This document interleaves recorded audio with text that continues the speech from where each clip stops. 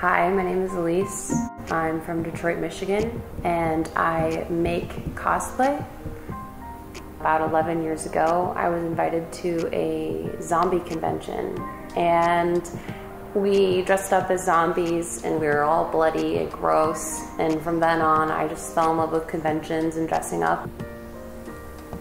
The process is very fun. Uh, the cleanup is not.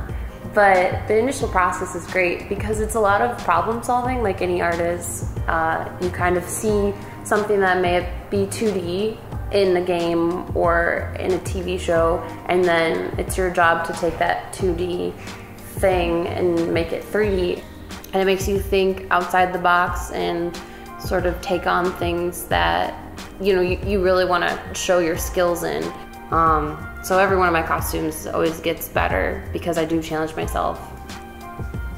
I never knew that I would ever need to know as much about glue as I know now. I know so many things about glue that I just, I had no idea what glues work for what materials, what um, you know, I have at least 15 different types of glue just because I use all of these different materials.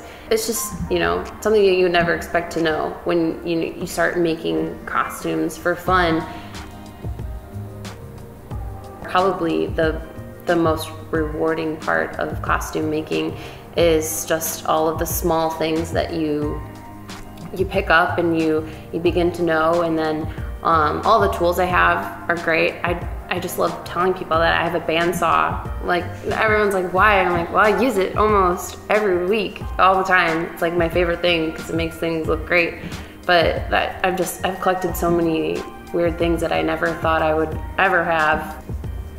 When people start using LEDs and I've seen people use smoke, you know, have giant cauldrons on their shoulders that are bubbling. Um, people will go out, way outside of the box when they're making these things because you want to stand out at a convention and you want your hard work to be noticed. Learning what works best is just trial and error. You know, when I use spray paint, I've used probably six different companies that make spray paint and when I find one that can be worn for a long time, won't harden too much, uh, I generally stick to that brand. I've been doing it for so long that a lot of it is sort of second nature. My name is Elyse, and I make cosplay.